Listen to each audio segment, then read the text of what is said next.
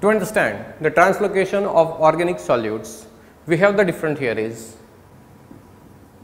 Mass flow hypothesis which is also called as pressure gradient hypothesis. This theory was given by scientist Munch in 1929. He explained the pressure gradient hypothesis.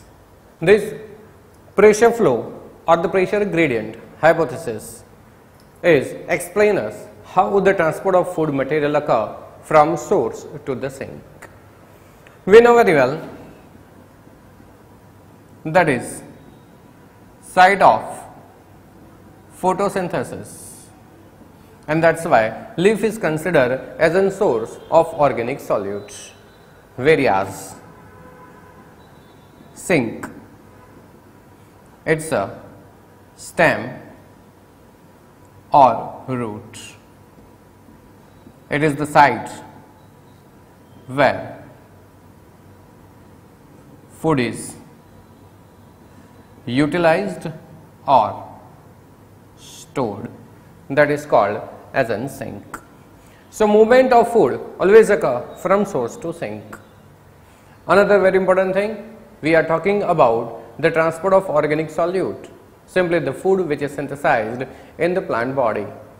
Remember that food is always synthesized in the form of glucose transported in the form of sucrose. Sucrose is a disaccharide. This disaccharide is a non-reducing sugar. It generally do not react with other substances and that is why it is the non-reducing sugar. In the form of sucrose only, food is transported through the phloem. Food is stored in the form of starch and that is polysaccharides. So, the transport of sugar occurs through the phloem in the form of phloem sap that is mainly sucrose. Leaf is the site of synthesis of sugar. Inside the leaf, in the mesophyll region,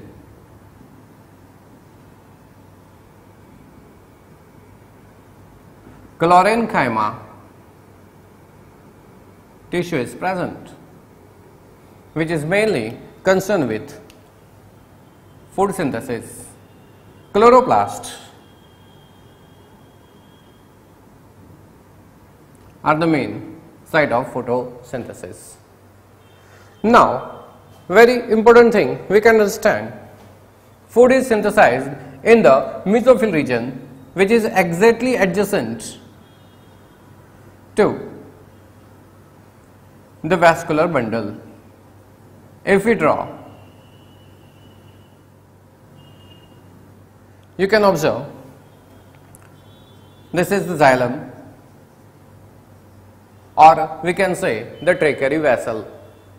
Adjacent to that is the phloem. These are the companion cells and near to that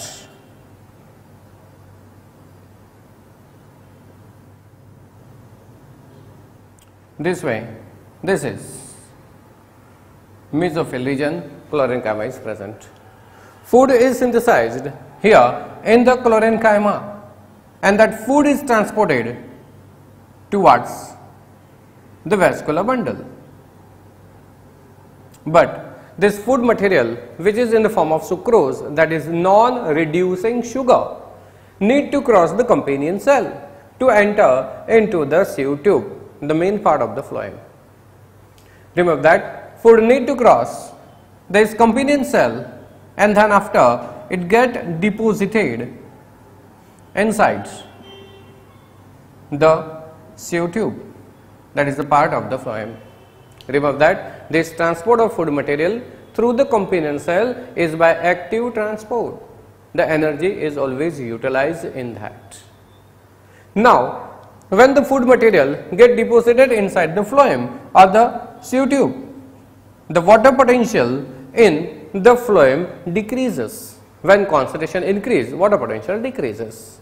And as a result of that, water from the surrounding xylem also deposited here inside the sieve tube and this way sugar plus water constitute that is phloem sap and this phloem sap form inside the phloem of the leaf. Food get deposited inside the phloem. As a result of that, the turgor pressure inside the phloem of the leaf increases with compared to that of the turgor pressure present in the phloem of the stem. So, this way the gradient of turgor pressure develops. Here in the leaf there is a high turgor pressure. Is that due to presence of phloem sap in it? And now this phloem sap is pushed towards here in the region of the stem. In the stem the phloem is present having now this phloem sap. When food is deposited towards the stem, the turgor pressure in the stem again increases with compared to that of the roots. And again due to the gradient of turgor pressure, this food material is again pushed towards the root. And this food material is deposited here inside the root. So, due to the difference in the turgor pressure, food passes towards the root from the source to sink. Very important thing. This is the pressure, turgor pressure reduces gradually from leaf to stem, stem to root. And that's why this theory is called pressure flow hypothesis or pressure gradient hypothesis. Very important thing. Along with the water and organic compounds some mineral solids may also transport. We know very well. Through the phloem, water, sugar and some amount of solutes or salt may also transport. And this is the mass flow or en masse hypothesis we can say. Now, what happens in the root?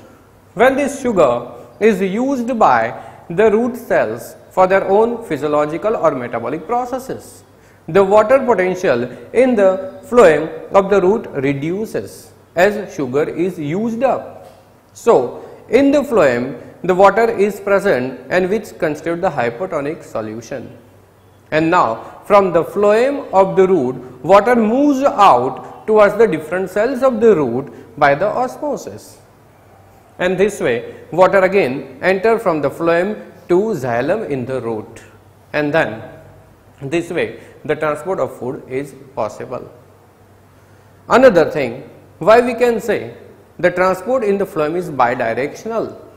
So, answer is when food is synthesized in the leaf it moves towards the stem from stem to the root, but in the condition of autumn when there are no leaves found there is no synthesis of food.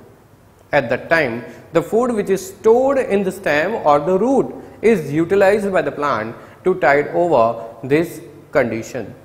And in such case, when there is no food synthesis occur from the root and the stem, the food moves in opposite direction. So, we can say food can transport from leaf to stem, stem to root. That is one direction, but in the need from the root, it also move towards the stem and other branches of the plant. And that's why this is the bidirectional movement of the phloem or phloem sap we can say. Thank you.